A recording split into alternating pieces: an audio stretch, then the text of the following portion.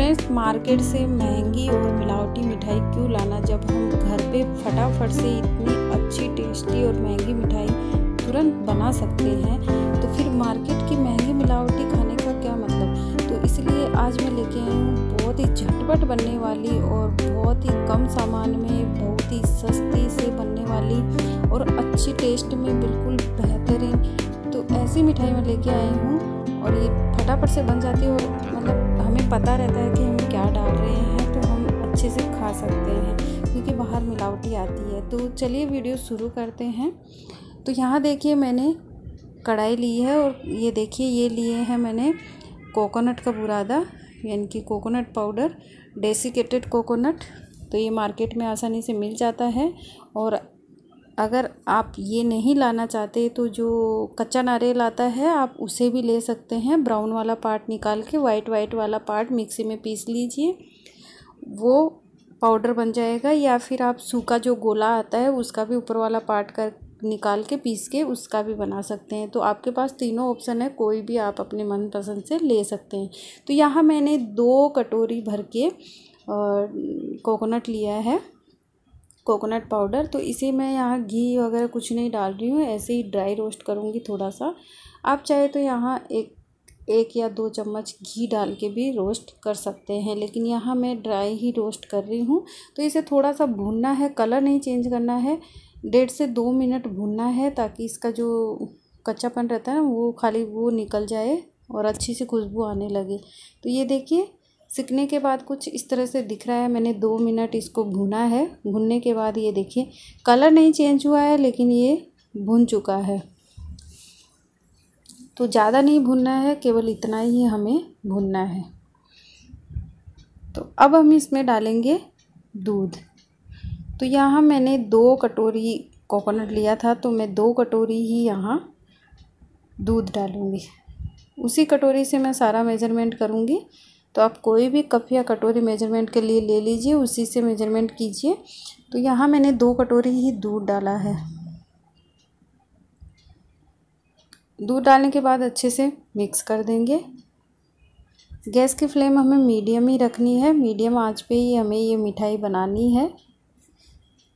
बहुत ही ज़्यादा टेस्टी भी लगती है और तुरंत बन जाती है। तो इस रक्षाबंधन आप भी बनाइए, ट्राई कीजिए, आपको बहुत ज़्यादा पसंद आएगी। तो यहाँ दूध को इस तरह से चलाते हुए दूध को पूरा सुखाना है, यानी कि दूध को अच्छे से पकने देना है। साथ ही मैं डाल रही हूँ यहाँ थोड़ा सा इलायची पाउडर वन फोर चम्मच।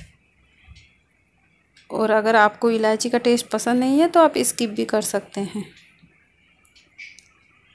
अगर ना भी डालो तो इसमें कोकोनट का खुद का फ्लेवर होता है। तो वो भी ना डालेंगे तो भी चलेगा। तो यहाँ देखिए अब दूध अच्छी तरह से सूख चुका है इसमें, ये देखिए। दूध बिल्कुल भी इसमें नहीं दिख रहा है तो मतलब दूध अच्छे से इसमें पक चुका है। अब डालेंगे चीनी तो चीनी मैंने यहाँ उसी कटोरी से लिया है, एक कटोरी चीनी। तो एक कटोरी चीनी यहाँ मैं डाल रही हूँ। चीनी डाल के भी अच्छे से मिक्स करेंगे। और अच्छे से मिक्स करेंगे तो आप देखेंगे कि चीनी जैसे जैसे पिघलेगी तो ये थोड़ा सा वापस से गीला होता जाएगा।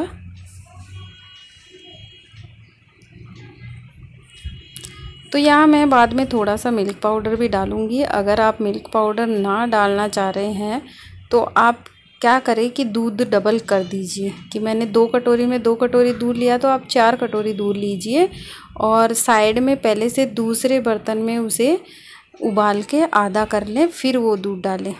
तो वो मावा वाला टेक्सचर देगा, एकदम मिल्क पाउडर डालने की ज़रूरत नहीं पड़ेगी।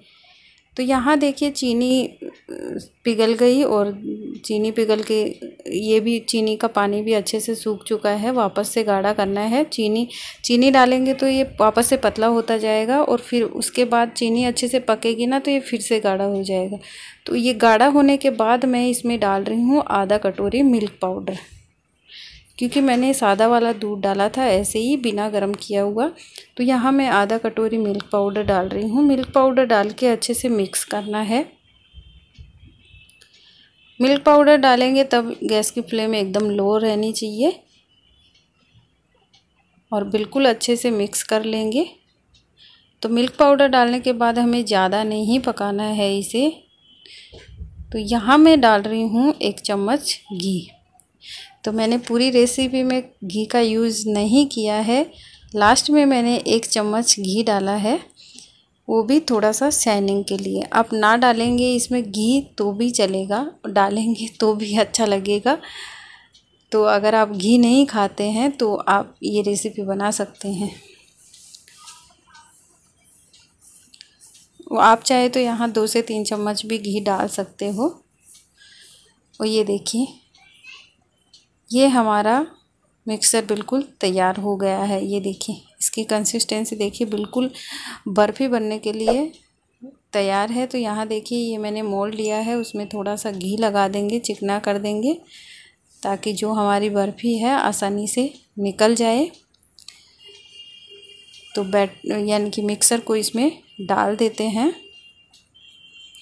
और अच्छे से चारों तरफ़ सेट कर देंगे।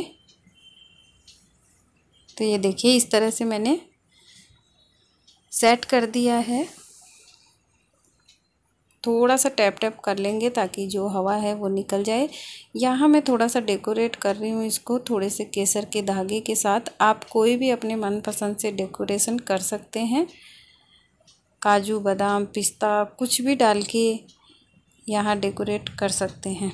तो थोड़ा थोड़ा इसको हाथ से दबा देंगे ताकि चिपक जाए। और अब इसे हम रेस्ट के लिए छोड़ देंगे। तो रेस्ट के लिए हम फ्रिज में रखेंगे। अगर आप बाहर रखना चाहते हैं तो बाहर भी रख सकते हैं। तो ये देखिए मैंने फ्रिज में रखने के बाद ये देखिए, एक से दो घंटा आप फ्रिज में रख दीजिए। और फ्रिज में रखने के बाद ये देखिए अच्छे से सेट हो गई है बर्फ़ी। तो हम बर्फ़ी को कट कर लेते हैं। तो पहले तो चारों तरफ़ से हम कॉर्नर को छुड़ा लेंगे। उसके बाद हम कट करेंगे तो आप बर्फ़ी कोई भी शेप में आप अपने मनपसंद से कट कर सकते हैं। यहाँ मैं स्क्वायर में ही कट कर रही हूँ, क्योंकि बर्फ़ी जो होती है वो स्क्वायर में ही अच्छी लगती है। तो यहाँ देखिए, इस तरह से आप रेक्टेंगल की शेप में इस तरह से लंबी लंबी भी आप कट करके रख सकते हैं। तो ये देखिए। इसका टेक्सचर देखिए, बहुत ही ज़्यादा मतलब मावा वाला टेक्सचर है और टेस्ट भी वही आता है। बहुत ही मज़ेदार मिठाई बन के तैयार होती है ये नारियल से और झटपट बन जाती है, कोई झंझट नहीं है। तो ये देखिए, इस तरह से मैं चौकोन में यानी कि स्क्वायर में कट करूँगी। तो ये देखिए। ये हमारी बर्फ़ी कितनी बढ़िया झटपट बन के तैयार हो गई है तो इस रक्षाबंधन आप भी ज़रूर ट्राई कीजिए। ये वाली कोकोनट की बर्फ़ी बहुत ज़्यादा पसंद आएगी आपको, और अगर पसंद आए तो वीडियो को ज़्यादा से ज़्यादा लाइक, शेयर, कमेंट कीजिए।